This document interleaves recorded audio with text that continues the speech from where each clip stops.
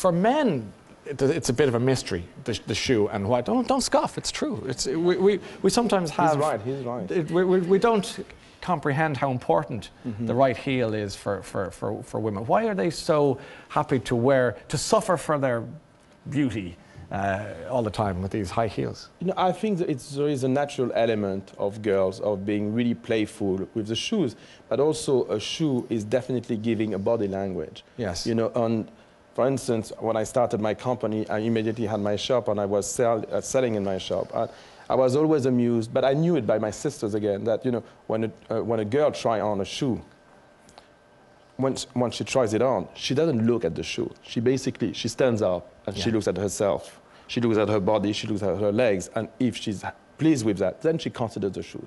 So really the shoe is just a pedestal of the whole body of the woman. And Yes. uh, if you think of it, yourself being a man, if you try on a shoe, you may even do just that, you know? You may not even stand up. A girl is really going to look at her whole Yeah. body. It's completely different. Oh yeah, absolutely. I was- chatting with, with, with men during the week, and they were saying, "I have three pairs of shoes or four pairs. Just go in that one."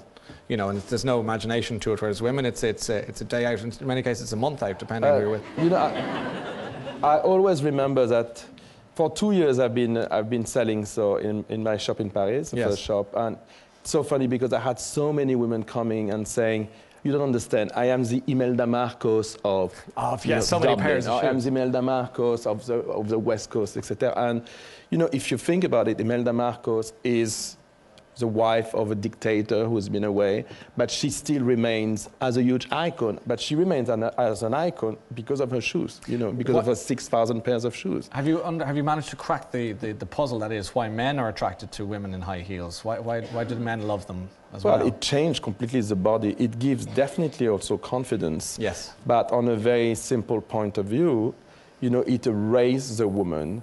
So the gravity center, this is very technical. The gravity center goes in the front, so it sort of projects the breast in the front and the ass on the back. So it reshapes completely the person.